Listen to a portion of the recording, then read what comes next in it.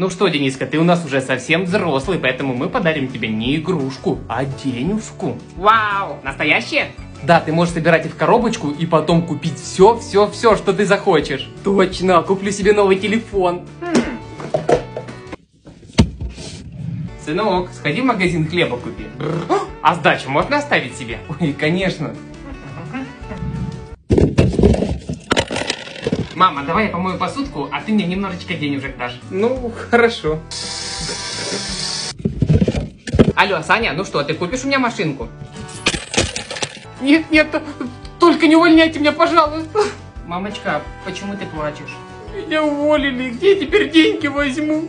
Я, я сейчас. Мамочка, вот это тебе. Нет, сыночка, это твоя копилка, не надо. Тебе нужнее. Спасибо, сыночка. Я так и знала, что ты вырастешь у меня хорошим человеком.